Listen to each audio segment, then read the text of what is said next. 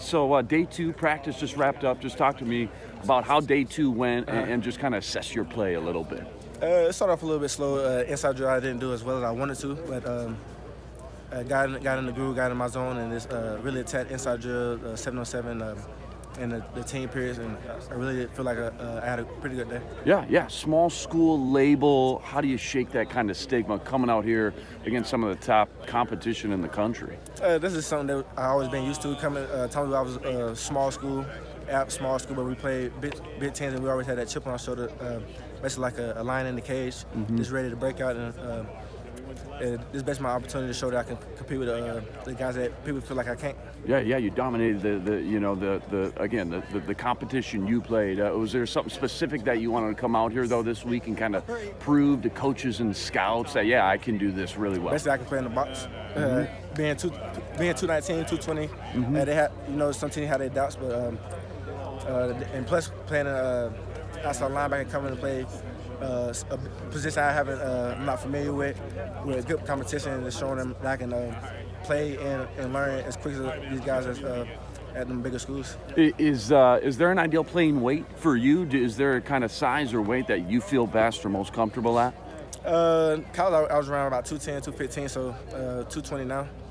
Uh, so I probably get around 225, 230 and to see how that feels. Is that and, something that maybe you and your agent have talked about getting bigger for the, like the combine and the pre-draft process a little bit, uh, or, or, or, is that just kind of just natural kind of? Uh... My, my dad's a, a, college coach, so he really he gave me most of the advice with, uh, when it comes to football. My agent, he really just wanted me to focus on getting fast and stuff like that, and not really focus on much of the weight, but uh, like I, like I said, I've been gaining weight. Yeah, for sure. Is, is there a specific maybe scheme? I mean, everybody says I can do it all uh, and I can show everybody, but for you, if I'm maximizing your skill set, uh, four three three four, anything like that? I mean, I came from three four, but uh, mm-hmm. I mean, whatever team I come on, four three three four, I just had to uh, get in the get in the film, get in the, in the playbook, and uh, adjust yeah, like the, I'm doing out here. Yeah, the, the, these hybrid kind of guys that uh-huh. can cover tight ends, running backs, but also hit, uh, they're valuable. Uh, is there a guy that you kind of mold your game after a little bit, or, or like to watch in the in the NFL? Uh, you can say guys like uh, Darius Leonard, um,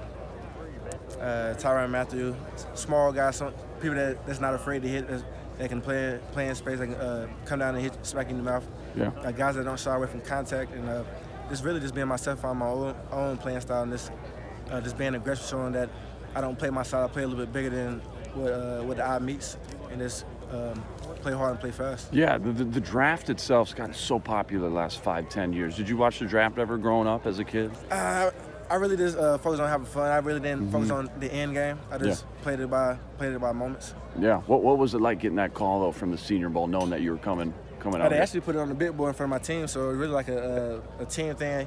I mean, it, it, was a special moment just being able to come down here and represent my uh, school.